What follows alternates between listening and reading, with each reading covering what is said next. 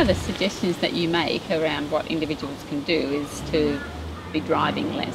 Um, but Australia's a very big country, and so what does it mean for us in such a big country to drive less? How can we do that? So, in my experience, having lived in, um, in Brisbane for several years, it is quite doable to get around by public transport and riding.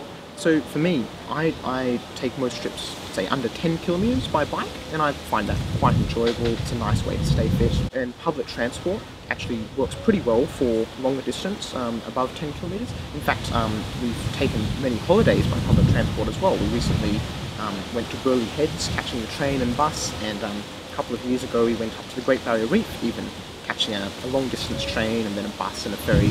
So you, many people who own cars and use them extensively might be surprised at how far you can get using bikes and public transport. I get your point though that Australia is a big country and um, for, particularly for people in rural areas where public transport isn't as accessible, it might be difficult.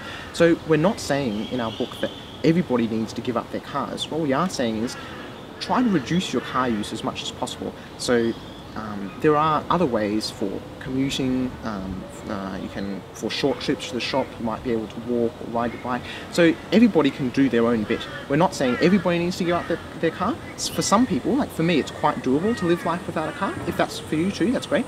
If not, that's okay too. It's just it's about us doing what we can to contribute to solving this problem. Tom, in um, your chapter on low carbon diets, do we really have to go vegan? Yes and no, Penny. So, animal agriculture is a big part of, of the climate change problem. Mo- many estimates would suggest around 20% of emissions are caused by animal agriculture. And um, more broadly than that, um, farming of cattle and sheep and pigs and so forth use a lot of land because a lot of um, crops are grown to, to feed to animals, especially in Western countries, and it uses a lot of water as well. So it is a big issue environmentally and also from a human rights perspective, actually, because um, about 10, 10 billion people could be fed with the amount of grain that we grow in the world today, but that's so that's two and a half billion more than we actually have on, on, on the earth. But yet people still go hungry, and that's partially because so much grain is fed to animals. So I think, yes, we do need to curb our consumption of, of animal products, of meat and dairy and eggs. Um, however, I realise that it's not viable for everybody to go vegan. I, I tried going vegan for a month or two and I really missed yogurt and cheese, I must confess. and um, also it may, makes it harder for people to cater to me um, because you know many many meals that people prepare have some cheese in it or desserts will you know have some ice cream that sort of thing. So what I've done in my life, um, which isn't isn't what everybody should do by any means, but I've I'm, I'm a vegetarian and I try to keep my consumption of milk and eggs low. Um, but I'm not I'm not a strict vegan. I'm happy to eat milk and eggs when that's kind of socially required or when I feel the need to. so I think everybody can work this out for themselves to, to just take a step or two along the continuum from kind of eating meat three meals a day and um, uh, towards um, being a vegetarian or a vegan. Anyone can take a step or two along that continuum to do their bit to contribute to lowering their carbon footprint not necessary for everybody to go vegan, but yes, we do all need to reduce our consumption of, of animal products. So another thing that um, produces a lot of emissions is flying, and um, we live in a globalised world where a lot of people are required to fly, and your family um, included have flown back and forth from India to Australia. So how do you yeah come to terms with that? Yeah, another really good question, Penny, and one I, I think about quite a bit. so it's one of the few regrets I have about my cross-cultural upbringing. It's been fantastic in so many ways to have friends in India and Australia, to see the differences and the similarities between cultures. Um, but it's one of my few regrets that it's required flying between them several times. For me personally, what I do is when I need to fly between India and Australia, I try to spend enough time in Australia or India to really reconnect well with friends there, do what I want to do, so I don't take short trips. If I'm going to spend all that carbon and money getting to somewhere, I want to spend enough time to really savour that experience. So that means for me, I don't take, um, I don't fly for to go for holidays because holidays are great, but um, they're short, short experiences, and I, I just can't feel justified for myself spending that much carbon on just having fun. Um, for, for a short period of time. So, and I would encourage many, all of you. Um, there's there are great holiday spots within Australia or, or within whatever country you're living in. Um, so we, we really have really enjoyed going camping and stuff in, in spots nearby where we live, both in, in Australia and India. Overall, with flights similar to the other things, I realise people's circumstances differ. Um, for some people, flying is more necessary part of life. For other people, it's it's easier to give up flying. Again, like with the other things, I'd say just do do what you can, keeping in mind the, the seriousness of climate change. Now, Mark, you suggest in your book that a sustainable level of emissions is two tonnes of carbon dioxide per person per year. Mm.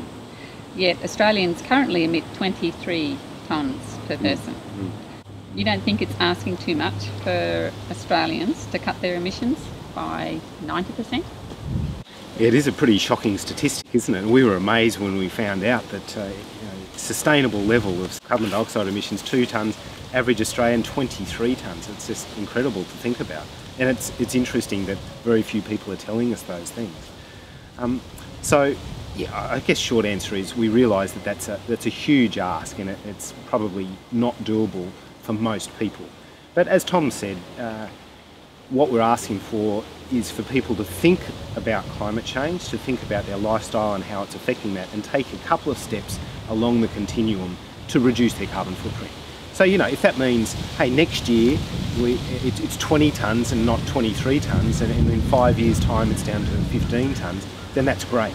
Um, and there's relatively easy ways that we can do that. You know, so even if we just um, instead of eating meat five times a week, we eat it twice a week, or instead of driving to work five days a week, we do it only three times a week. Things like that. There's relatively easy things that we can do.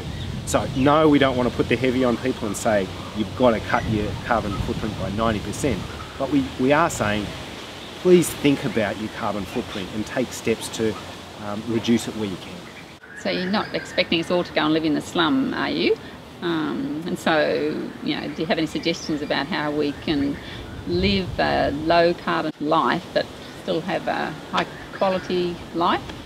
It's a good point, and it's certainly we've been careful in the book not to kind of glorify poverty because poverty is, is a very, very difficult thing. A lot of our friends and neighbours in, uh, in India have very, very difficult lives. You know, they can't access the healthcare they need, they can't access good education for their kids. So we're not espousing poverty, that's for sure. But we are saying there are things that we can do in, in our lives to lower our carbon footprint and still have a very, very high quality of life. And one of the best examples of that is, uh, is the consumption of things. Um, so, you know, we, we continue to buy things thinking that it's going to make us happy and content and so forth, but it, often they don't. You know, we might get pleasure out of this new thing for a couple of weeks or a month or so forth, but then it, then it dies off. What I think our friends in, in India have taught us and that we've learned ourselves from all of those years that it's the, the other things in life that you can't purchase and don't require a carbon footprint, like um, enjoying nature, you know, or just a little bit of peace and quiet, or enjoying a good piece of music, or enjoying the ocean, or enjoying our friends and family. None of those things require a carbon footprint, but they're all really important to our quality of life.